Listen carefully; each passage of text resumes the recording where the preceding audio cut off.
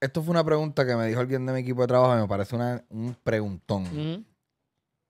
El hecho de que tu nombre artístico es Miguelito, llamarte Miguelito y tener 6 años, 7 años, está cabrón. Pero yo me imaginaría que, que llega un momento en, en tú siendo adolescente que empiezas a decir, diablo, yo voy a tener que hacer un rebranding. ¿Cómo me voy a poder mercadear cuando tenga veintipico de años? ¿Seré Miguelito todavía? ¿Eso es algo que pasaba por tu mente? Claro, claro, oye, por eso eh, hubo un momento de mi vida donde, y no fue ni cambiarme el nombre, mucha gente piensa que yo me cambié el nombre, pero simplemente puse MTO. Para mí, era, o sea, es una abreviación de- del nombre Miguelito, ¿verdad?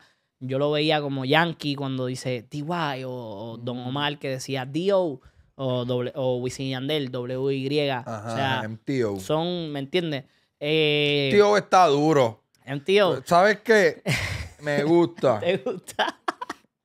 MTO. Eh, MTO, pues es algo que. Y, pero yo, o sea, que lo estábamos hablando ahorita, eh, siento que, o sea, en ese momento no lo pensaba, porque la industria no estaba como está ahora, todavía. Para ese tiempo todavía estaba un poco controlada, un poco, pues, los mismos artistas, salía uno que otro, pero no, no explotaban tanto.